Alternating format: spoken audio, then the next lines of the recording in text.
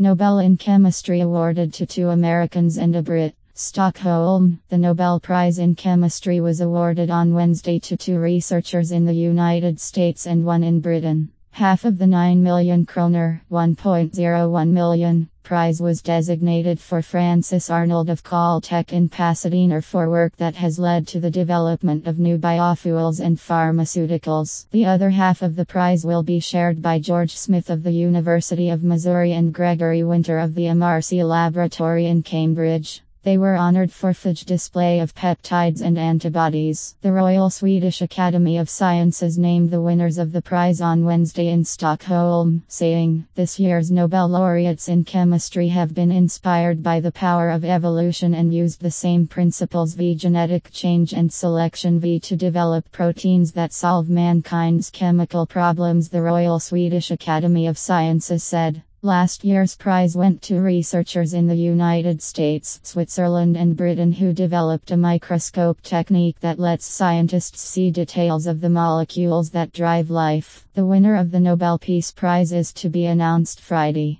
No literature prize will be awarded this year, but the Swedish Academy that awards the prestigious prize is still in the limelight. Jean Claude Arnault, a French citizen who is a major cultural figure in Sweden, is at the center of a sex abuse and financial crimes scandal that has tarnished the academy and forced it to take a year off in its deliberations. The 72 year old was sentenced on Monday to two years in prison for the rape of a woman seven years ago. He denied the charges. The Nobel Memorial Prize in Economic Sciences honoring the man who endowed the five Nobel Prizes will be revealed Monday. The Medicine Prize was awarded Monday to American and Japanese researchers. Scientists from the United States, Canada, and France shared the Physics Prize Tuesday, based on the materials of the site.